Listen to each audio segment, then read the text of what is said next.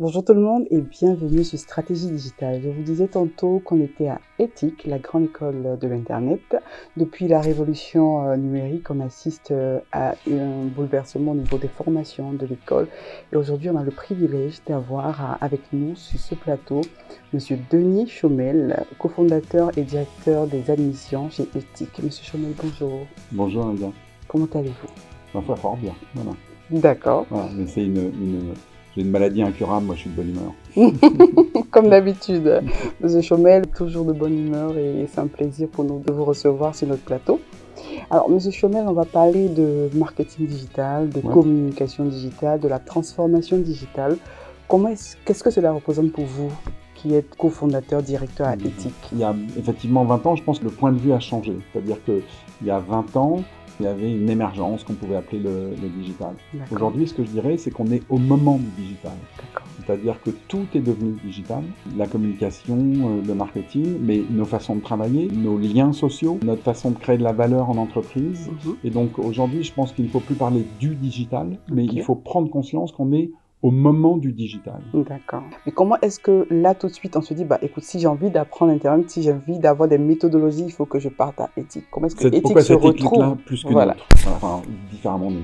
Oui. le point de vue, le, fait d'avoir une vision. Euh, euh, on a toujours prôné, on a toujours dit deux choses. La première, c'est euh, apprendre, c'est rien, c'est de se lever le matin, c'est compliqué. c'est une façon de dire qu'il faut avoir, faut avoir un, du sens, faut donner du sens aux choses, faut avoir une vision. Il y avait d'abord ce, positionnement de dire il faut arrêter de raisonner en silo. École d'ingénieur, école de commerce, école de design, c'était bon pour ma génération. Euh, et qu'aujourd'hui, il faut non pas être généraliste, mais avoir une vision globale. Les entreprises ont besoin de, compétences de performance collective. Et donc on a beaucoup, beaucoup, et on insiste beaucoup sur cette notion de travailler ensemble. Voilà, d'apprendre ce que c'est qu'un workflow. Comment est-ce qu'un designer, une designeuse travaille avec une développeuse, un développeur en informatique, des choses comme ça.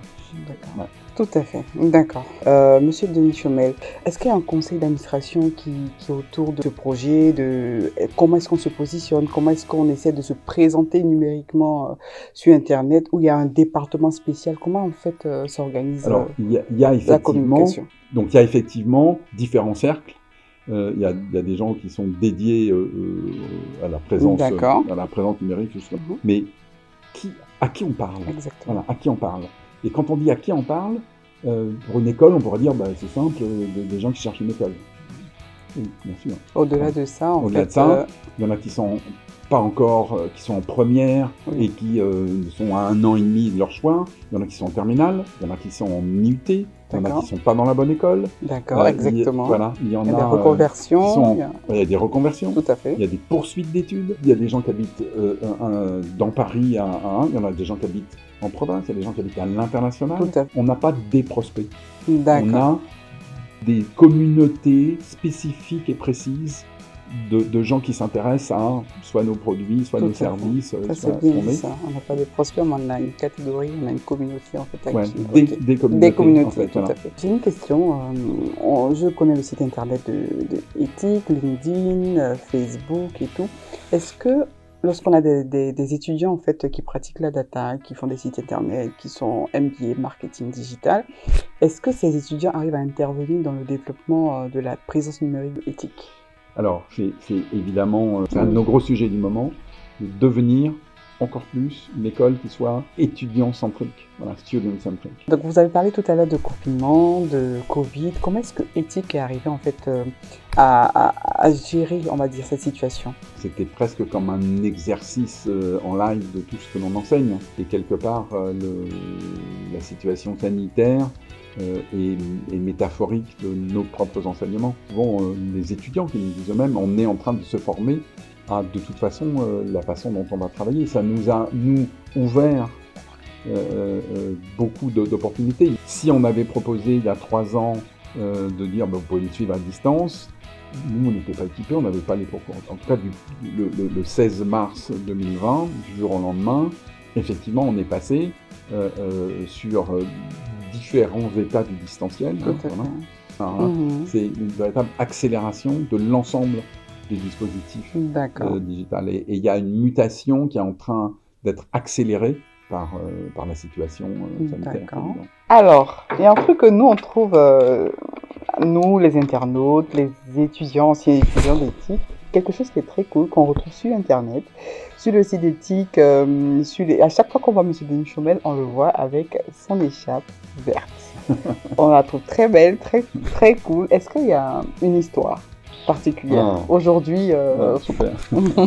Euh, j'étais sur un salon étudiant au tout début, en 2002-2003.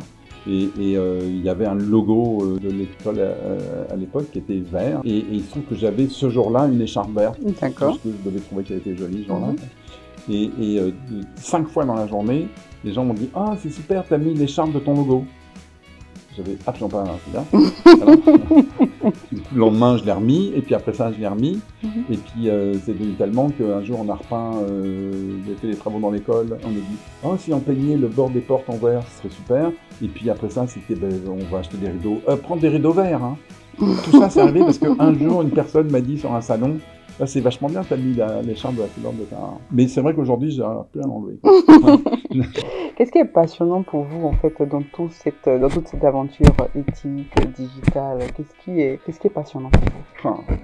Euh, la, la, la, curiosité, euh, apprendre. Euh, je suis pas gamer, moi. Euh, voilà.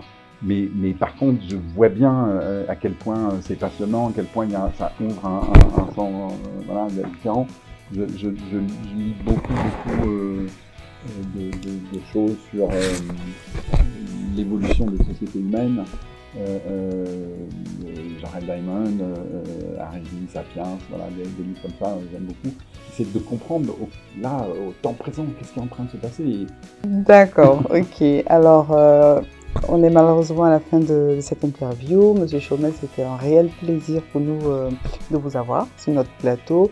On vous laisse évidemment le mot de fin. Je sais que vous avez forcément quelque chose à nous dire à tous ces internautes euh, fans de stratégie digitale, de communication. Voilà, d'abord, longue vie à, voilà, à cette émission, à cette chaîne et à ce que vous faites. Et euh, ben, c'est ma phrase du jour.